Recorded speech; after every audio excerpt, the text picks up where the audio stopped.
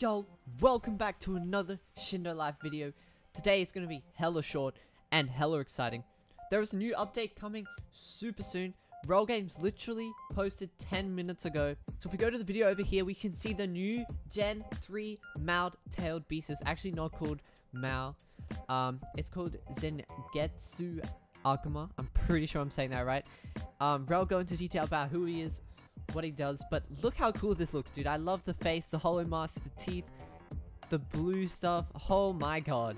You can see the resemblance with the Apple Spirit, but that looks sick. And if you guys are wondering, it is coming out next week. Next update, guys. There is also two new codes that will work only when the update is out. Bruce Kenny and Kenny Bruce.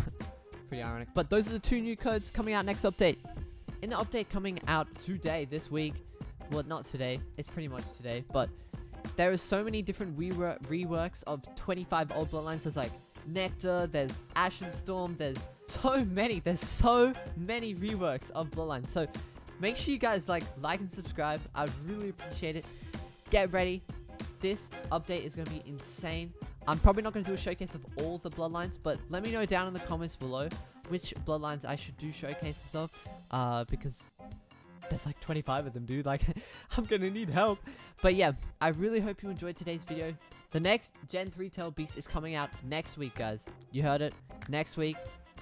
And uh, yeah, I appreciate all the support. Make sure you like and sub. And I'll see you next video. Peace.